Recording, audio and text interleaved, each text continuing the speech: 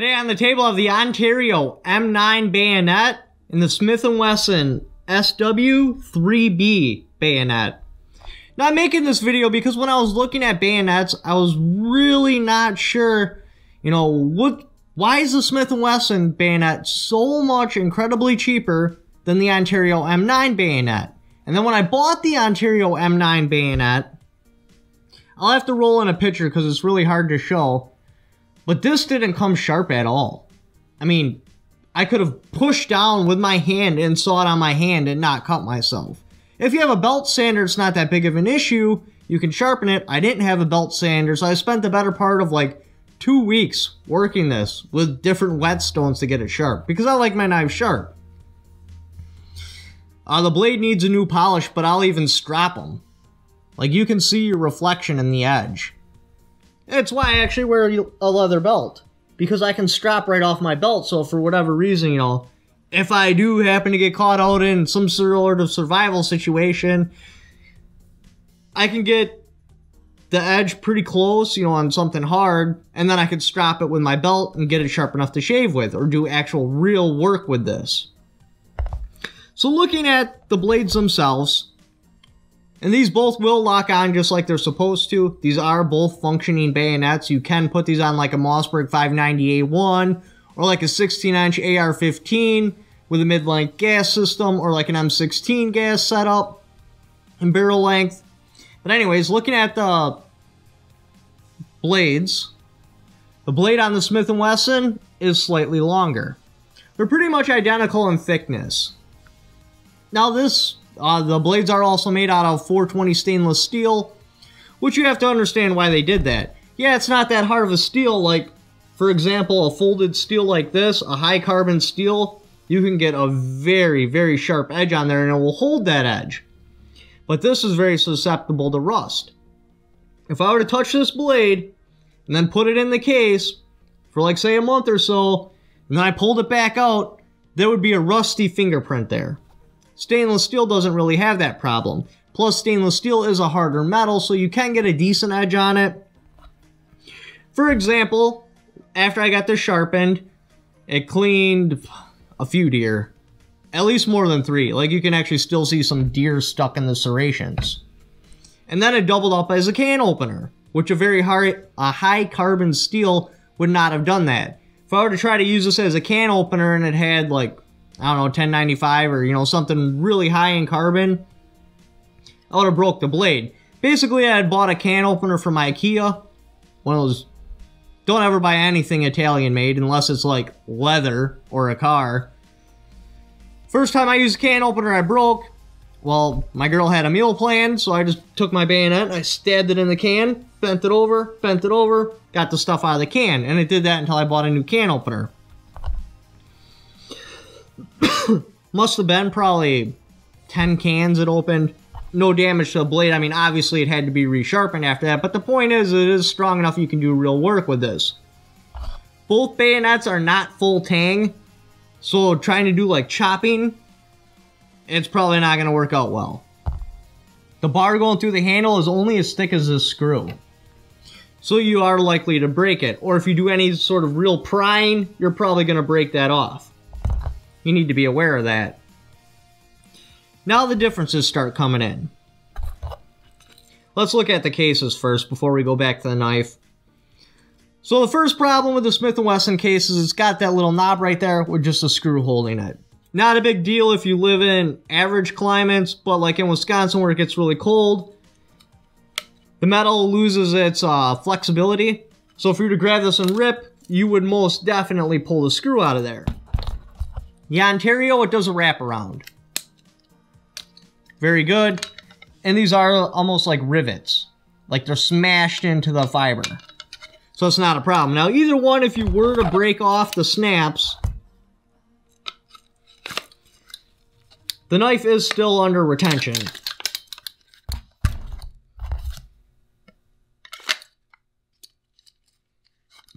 Uh, the M9, probably not as much. Maybe when it was brand new it was equal, but I've used this a lot.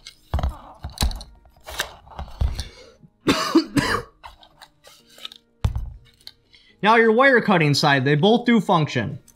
Um, this is just a pressed in piece. Like you can see it riveted right there. So it's very liable to break this off.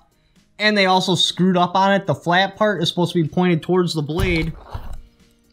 Like here on the M9. So it stops the blade like that. And then you get your wire cutting right through there. I have cut quite a bit of wire with this. Works great. Now these are a flathead screwdriver on both of them. Now this screwdriver is basically not usable. It's too nubby. And the whole point of having the flathead screwdriver on there is so in case this gets loose in combat or whatever, you can just snug it down real quick. Make your knife functional again. The Smith & Wesson does not have a slot for the screwdriver. So, like I said, it's pointless, and if you were to use this on anything... This I've used on several different things. It actually helped me take apart this shotgun because I didn't have a proper screwdriver that fit. So I used that and it worked out all right. It can double up as a lot of different things. They do attach pretty good. Another thing you need to be aware of is this is just billet. Same with this. The Ontario, these are forged parts. Why does that matter? So alright, so with forging you got your piece of metal. You have a die that's going to smash it. So the grain on this metal will be pushed into where the die is. So the grain will be going around like this, then it'll flow. That's all great. On billet, say for example, there's a new machinist and you don't know what the hell he's doing. And we'll pretend this is your piece of billet metal. And that is hammer drawn. So all the grain will be facing this way. Say for example, he cut this piece from the metal like this. It'd be like that. That would mean all your grain is flowing this way. So if you were to put any kind of pressure on here, you'll snap it off where the grain is. Same right there, because all your grain's going across. It's not following the shape of the metal. So that is something you need to be aware of. If, say, he cut the piece of metal and the grain's going like this, this could break in half. But it's a lot less likely. So depending on who's cutting the metal that day, will depend on the strength of this blade. Now the Smith & Wesson blade does have blood grooves. This is important because deer, humans, whatever, we're 80% water. So if you were to actually use this as a bayonet and you stuck it in, it forms a vacuum seal. It's very hard to recover your knife. These grooves let air in to help him pull out a little bit easier. the Ontario does not have those grooves. You know, I've never actually bayoneted anything living, so I don't know how important the grooves are. I'm assuming when you got the leverage of your gun, you should be able to pull it back out. Like I said, I've never bayoneted anything, so I don't really know. Both cases do have drain holes in the bottom. The Smith & Wesson does have a little pouch where you can put something in there. Now the Smith & Wesson does actually come sharp. It's not perfectly sharp, like I'd still strop this, but that's all I'd have to do is I'd have to strop it. I wouldn't have to completely reprofile it like the M9. The Smith & Wesson does have a pretty nice saw back. Like I said before, these aren't full tangs, so that's actually important because you shouldn't be chopping through branches. You'll break the knife.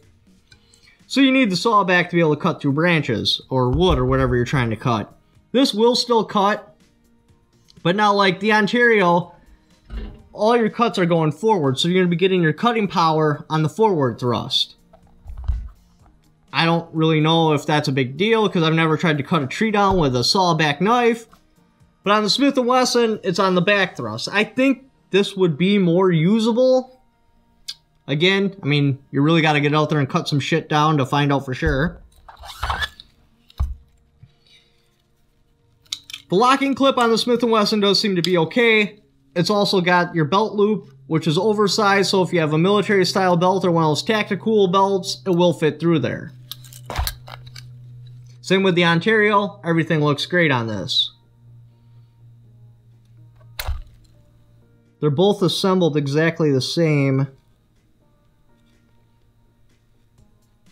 So that's good. So basically the point of this video is you do actually get what you pay for. The handle on the Smith & Wesson is just feels like a cheap plastic. You can see a mold line in the center. It's very possible this would split.